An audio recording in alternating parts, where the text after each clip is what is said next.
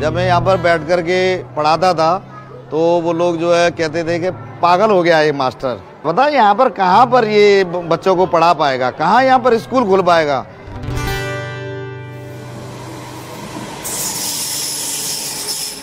ऊपर से ट्रेन जब आती है तो हम जो है पढ़ाना बंद कर देते हैं। हर सात आठ मिनट में जो है ट्रेन यहाँ से निकलती रहती है।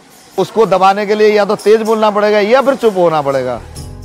यहाँ पर सब लोग लेबर वर्ग के आदमी रहते हैं। बहुत सारे बच्चे जो है, मट्टी धूल वगैरह में जो है खेल रहे थे। तो उन लोगों को देख करके मैंने उनके माँ बाप से बात करा कि आप इन बच्चों को पढ़ने क्यों नहीं भेजते?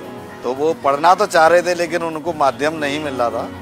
यही सोच करके 2010 में मैंने यहाँ पर दो बच्चों को लेकर के बैठ गया फिर, कि आप यकीन नहीं करोगे तीन चार महीने में 140 बच्चे करीब हो गया था। मेरे को अंदर से इतना अच्छा लगता है कि जो काम इनके माँ बाप ने नहीं किया, वो बच्चे कर रहे हैं। तो बच्चों के माँ बाप को तो खुशी होती है, उनसे ज़्यादा मेरे को खुशी होती है कि मैंने दुनिया में आकर कुछ नेक काम ज़रूर किया है।